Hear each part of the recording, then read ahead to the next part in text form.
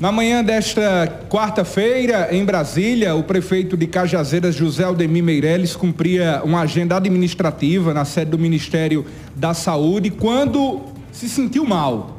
E a informação que familiares me repassaram hoje pela manhã, tão logo a gente recebia o vídeo do prefeito sendo conduzido em uma cadeira de rodas e socorrido pelo Serviço de Atendimento Móvel de Urgência, a informação que familiares me passaram,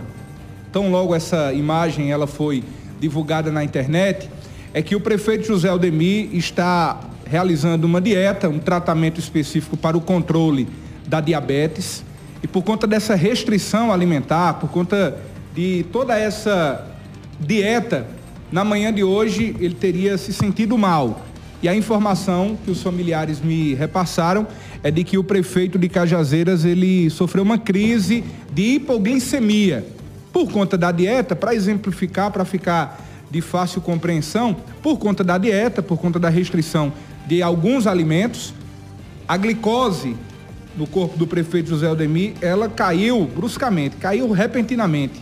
E aí ele se sentiu mal e precisou ser socorrido pelo Serviço de Atendimento Móvel de Urgência, o SAMU, em Brasília. Foi encaminhado para o atendimento hospitalar e em seguida foi liberado. E aí os familiares me confirmavam na manhã de hoje de que o prefeito de Cajazeira, José Aldemir, deverá passar nos próximos dias por um check-up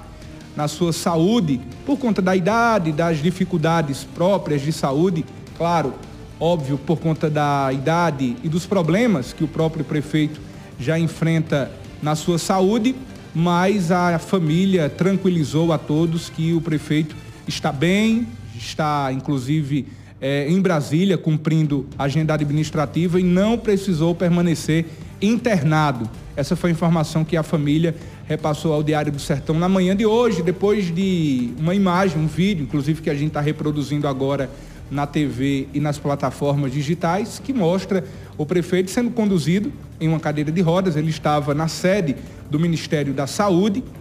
Nós não sabemos precisar o que o prefeito tratava no momento na sede do Ministério da Saúde. Ele se sentiu mal e foi preciso ser conduzido em uma cadeira de rodas para receber o atendimento na unidade do SAMU em Brasília.